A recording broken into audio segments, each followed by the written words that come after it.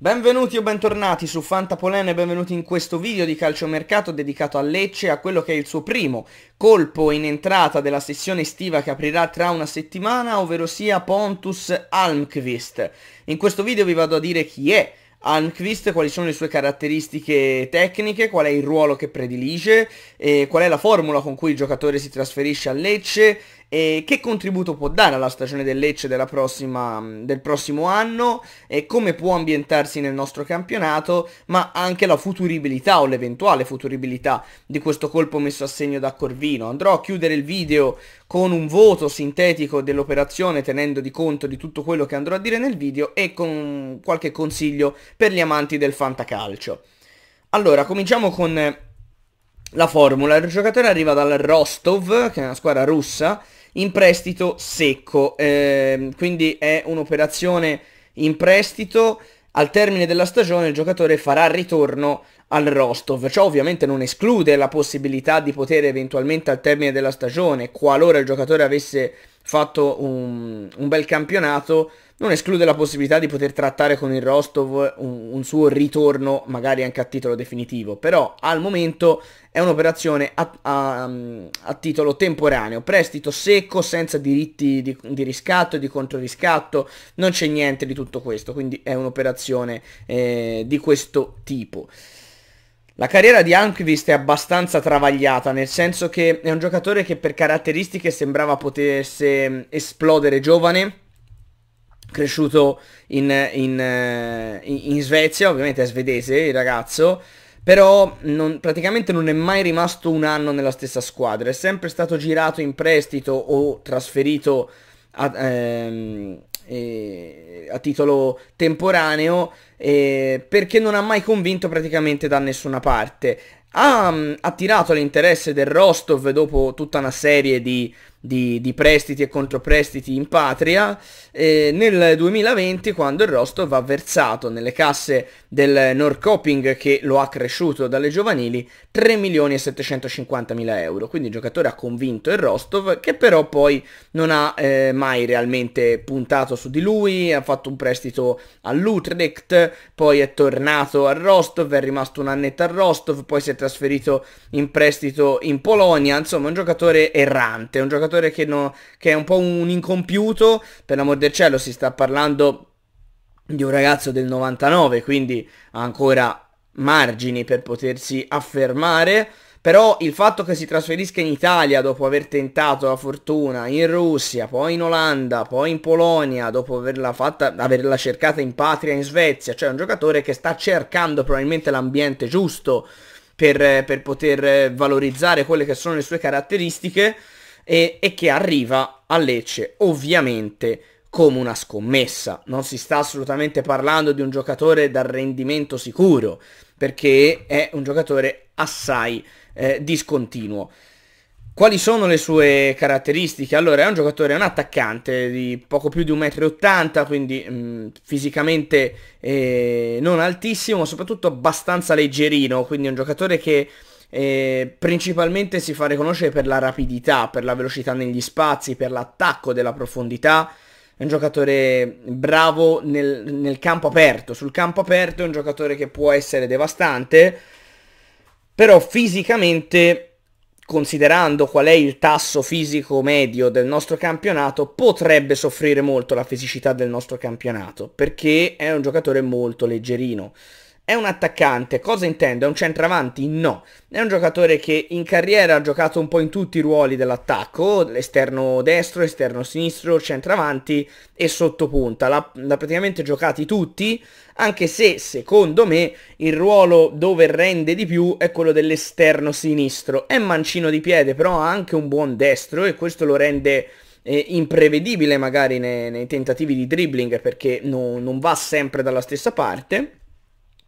e quindi secondo me la, la sua posizione ideale nell'ipotetico 4-3-3 che potrà fare Lecce il prossimo anno, perché Lecce si è separato da Baroni e sta cercando il nuovo allenatore, quindi anche il fatto che la società abbia messo a segno a dirigenza, abbia messo a segno un colpo di mercato senza sapere forse quale sarà il prossimo allenatore, magari in realtà la società, la, la dirigenza lo sanno, però ancora non è stato reso ufficiale. Però è particolare, abbastanza peculiare questa cosa. Ipotizzando che Lecce continui, diciamo, sulla scia del 4-3-3 che si è visto l'anno scorso con Baroni, eh, io Almqvist lo vedo come esterno sinistro, che è un ruolo dove si sono, diciamo, ruotati eh, Di Francesco, Bandà, addirittura inizio anno ogni tanto ci ha giocato anche Uden da quella parte, però nessuno ha mai poi eh, sfornato prestazioni convincenti da quella parte o comunque prestazioni continuativamente convincenti, magari qualche sprazzo interessante lo hanno fatto vedere sia di Francesco che Bandà e Oden no, Oden ha iniziato a far vedere sprazzi interessanti quando è stato spostato a centrocampo. Però diciamo in quella zona di campo rispetto all'altra dove Strefezza ha fatto la voce grossa sicuramente è mancato qualcosa. Io penso che Anquist arrivi per fare l'esterno sinistro perché probabilmente ci sono delle, delle, valutazioni da fare in relazione appunto a Di Francesco e a Bandà, magari ci sono delle, delle offerte per Bandà che magari è un giocatore che ha attirato l'interesse di qualche società, magari Di Francesco anche per una questione di ingaggio perché uno dei giocatori che percepisce l'ingaggio più alto a Lecce e vuole essere, la società magari lo vuole vendere visto che il rendimento non è stato all'altezza dell'ingaggio percepito. Ci saranno sicuramente delle valutazioni in corso eh, che ovviamente non conosco, però credo che Ankvist sia arrivato per fare l'esterno sinistro. Come dicevo prima, è un giocatore eh, che eh, diciamo si esalta negli spazi, si esalta nell'attaccare alle spalle gli avversari, nell'attaccare la profondità. Non è, come dicevo, particolarmente fisico, quindi può soffrire molto la fisicità del nostro campionato a maggior ragione quando si accentra e quindi quando si avvicina alle, alle, porzioni di campo dove affronti poi i difensori centrali che quasi tutte le squadre eh, hanno abbastanza piazzati fisicamente, sono armati di solito i difensori centrali, sull'esterno puoi trovare qualche giocatore magari anche un po' più leggerino, ma eh, ormai si stanno irrobustendo anche i terzini. E quindi è un giocatore che può soffrire questo, tecnicamente non è un giocatore clamoroso, ha questa qualità di avere un buon destro, è un mancino di piede però un buon destro, quindi come dicevo lo rende imprevedibile ne, nei movimenti e lo rende pericoloso magari negli ultimi metri perché può in, indifferentemente calciare con il destro o con il sinistro, però non è un giocatore che in carriera ha mai avuto grandi numeri, né dal punto di vista dei gol né dal punto di vista degli assist ed è un po' un, un, tasto dolente quasi misterioso per un giocatore che comunque ha delle qualità che in squadre che giocano di contropiede, ad esempio, eh, dovrebbero portare a numeri completamente diversi, a numeri più alti, a numeri più convincenti e che invece in carriera non ha mai mostrato in nessuna delle esperienze che, che ha fatto. Arriva da una stagione, l'ultima, dove ha collezionato appena 5 gol e 6 assist in una trentina di presenze, quindi numeri non esaltanti, però nemmeno da buttare via, eh, se è chiaro, comunque per un giocatore offensivo così duttile, così eh, dinamico, così eh, insomma fluido nel, nel, suo interpretare la, la, zona di campo offensiva. 5 gol e 6 assist, comunque pa- prendere parte a 11 reti non è comunque un numero disastroso. Però le difficoltà che ha mostrato il Lecce in questa stagione, cioè quelle proprio dal punto di vista realizzativo, c'è stato quel filotto in campionato dove il Lecce non segnava, sono state dal punto di vista dei gol. Quindi secondo me il Lecce se doveva andare a prendere giocatori in quella zona di campo, attaccanti, anche perché Colombo è stato controriscattato dal Milan ad esempio, io penso che servisse un giocatore che magari ti dava un pochino più di garanzie dal punto di vista realizzativo. Poi è normale che con le disponibilità economiche che ha il Lecce non è che si possa andare a prendere giocatori affermati, perché è impossibile, bisogna per forza andare a prendere giocatori o in cerca di rilancio o, o mezze scommesse, è normale. Però qui si sta parlando di un giocatore che secondo me ha un tasso di rischio altissimo, a livello prestazionale, perché poi a livello economico, essendo un prestito secco, non è un giocatore che ti, che, che ti porta un rischio economico e, e questo mm, non, non, si nega. Però a livello tecnico è un giocatore che ha un tasso di rischio di flop veramente elevato, proprio perché secondo me la sua leggerezza fisica e la sua tecnica non eh, altissima lo portano a essere un giocatore che può avere veramente tante difficoltà ad ambientarsi nel nostro campionato e ad ambientarsi eh, anche in un campionato di, di sofferenza quale sarà chiamato a fare il Lecce la prossima stagione quasi sicuramente. Per cui è un colpo che non è che mi che mi stuzzichi più di tanto. Poi quando Corvino va eh, all'estero e muove, diciamo, il suo scouting, spesso ci prende e quando non ci prende comunque non dissangua il conto economico della sua società. Questa però mi sembra un pochino più una, una, sparata proprio perché c'è stata una grande occasione di mercato, perché un prestito secco di un giocatore che aveva delle promesse importanti qualche anno fa è, è un colpo che ci può stare però credo che se Lecce vuole rinforzare quel reparto per la prossima stagione, sempre considerando che continui sulla falsa riga del 4-3-3, penso che servano altri profili, perché Anquist non è un giocatore che secondo me ti può fornire numeri elevati dal punto di vista dei gol e degli assist, ma secondo me anche dal punto di vista delle prestazioni